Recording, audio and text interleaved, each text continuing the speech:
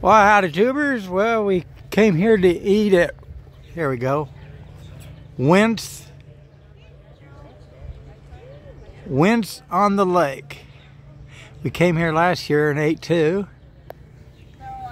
Now, right, James? Correct. That is correct. So, we walk out here on the pier. I, well, I guess, I don't know if you call it a pier or what. See if we can drop the phone in the water or something.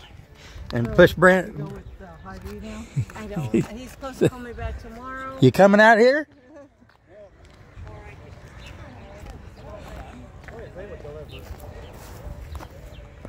I need those pictures to put, uh, up. Okay. Did you catch anything while you're out there? No, Oh, the wind. the wind. Caught the wind. Oh, that's pretty clear. Yeah.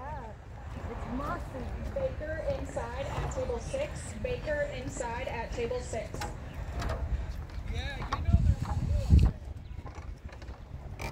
I don't know about it. Got a got a little bit of a smell to it.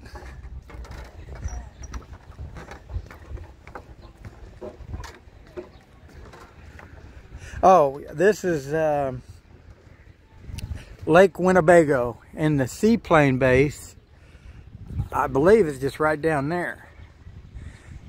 James seen seaplane coming in, I guess. Uh, while we were eating, I didn't see it but I think they say it's this here's 30 miles long and the end of it is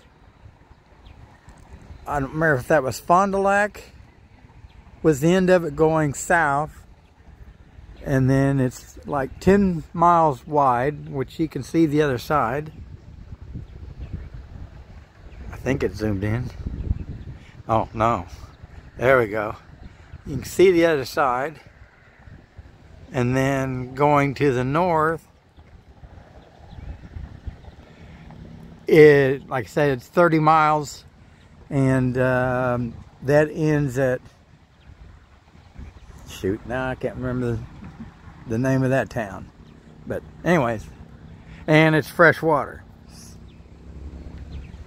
So there you go. God bless.